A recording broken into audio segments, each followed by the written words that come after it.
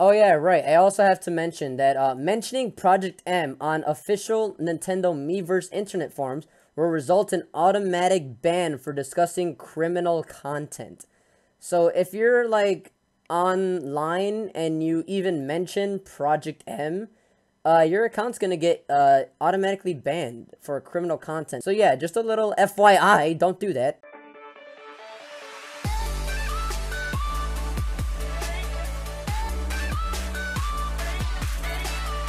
Alright, so now I'm gonna do the tutorial on how to get the Super Smash Bros. Brawl Infinite on the emulator, the Dolphin emulator for PC.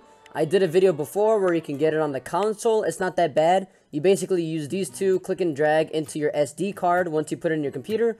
Take out the SD card, put that in your Wii. It's a little bit loud. This came out like a month ago, but this is the latest uh, kind of, I guess, project that they're doing. It's not out yet, although it does look freaking gorgeous.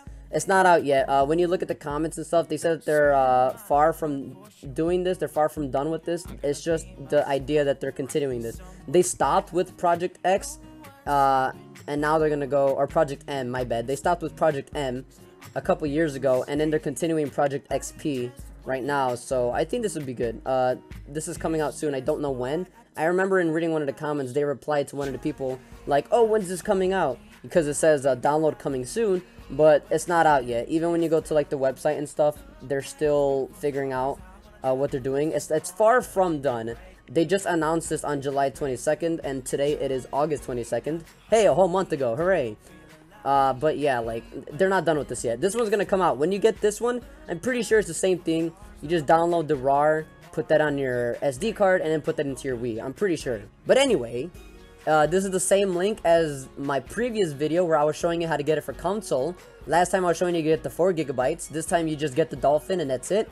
So what you're gonna want to do is open one of your folders, go to your documents section because this is where Dolphin automatically installs its emulator.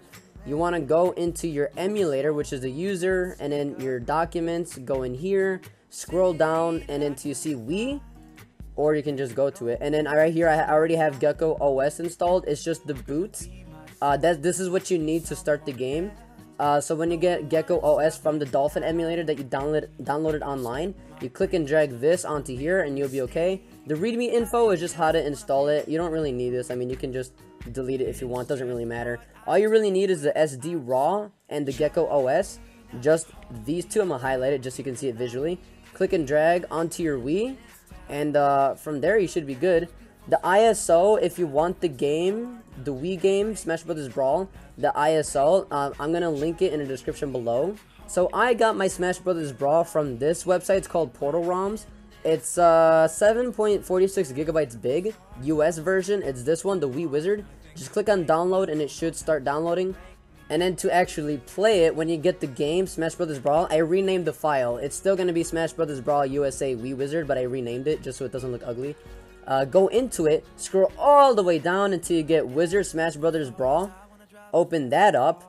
And then in like one of the first things you're going to see is this ISO file right here. Yep, that's the only thing you'll see actually click that and drag it onto the game on your folder and that's it. It's gonna it's 7.92 gigabytes big. Just this i don't think everything else even compares to that size. Never mind i lied. All right. So how this works you got to go to config right here or go to paths. Go to iso directories. You want it's to be blank at first but then go to add and then go to wherever your iso is. So that'll be document wii game for me smash brothers and then the iso should be in there. Or this is the folder. Right select the folder uh, the ISO directory is going to be where the folder's at. So the folder or where the game is supposed to be at, uh, that's where you want to direct it. So documents, for me, I added the Wii games right here.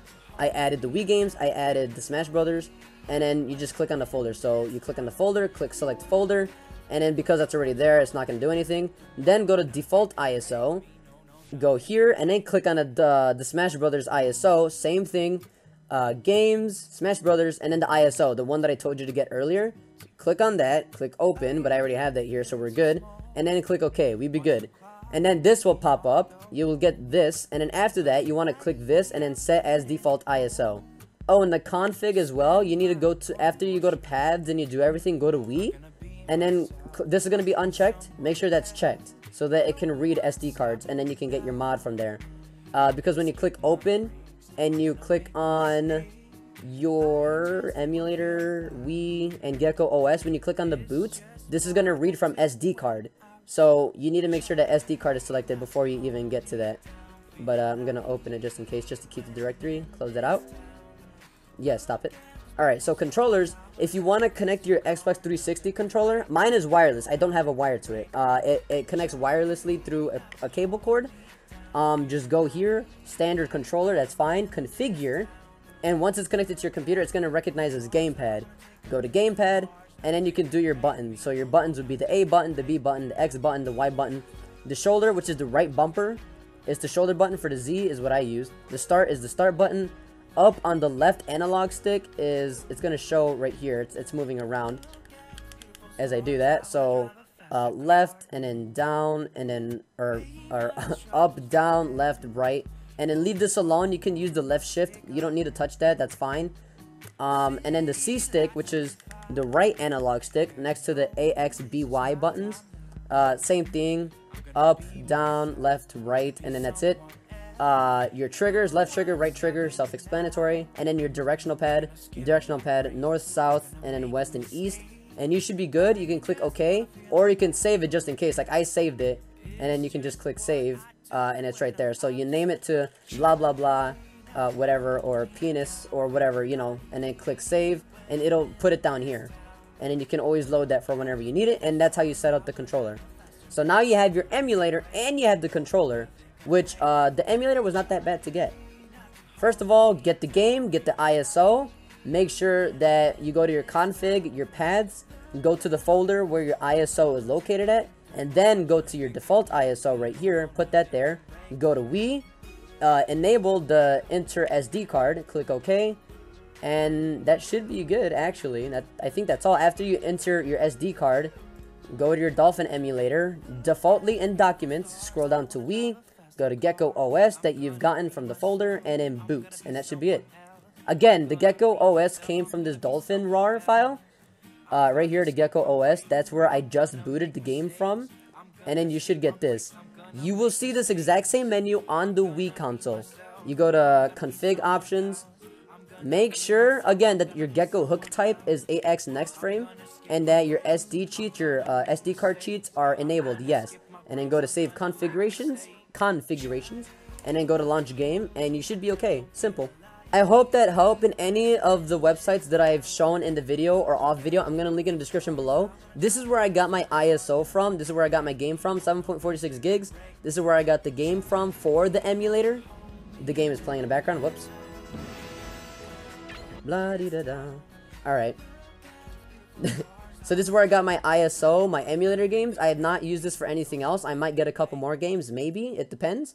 But thank you guys for watching. I hope that helped you. If it did, please hit the like button. Comment if anything went wrong or if you need help on something. This is not Hackless. If you want Hackless, I think it's basically the exact same thing, just without Gecko OS. I mean, it shouldn't be that hard. But uh, have a good day. Be safe. Hopefully this helped. If it did, please like it and share it with other people, like in other videos that you're seeing, like other video tutorials. Share the link and say, hey, there's an easier updated tutorial right here. Look at it. Uh, there's an idiot who talks for like 10 minutes straight. but yeah, have a good day. Be safe. I'll see you on Twitch in my future YouTube videos. And I'm not a usual uh, tutorial channel. It's just that after hours of suffering with trying to install this, uh, I finally figured out how to get it, and I'm like, I'm just gonna share it. It's not that bad. It's pretty easy. But yeah, getting it, I think getting it on Dolphin was a lot easier than getting it on console. Jesus Christ, this took me a lot longer to do than on Dolphin. Let me tell you.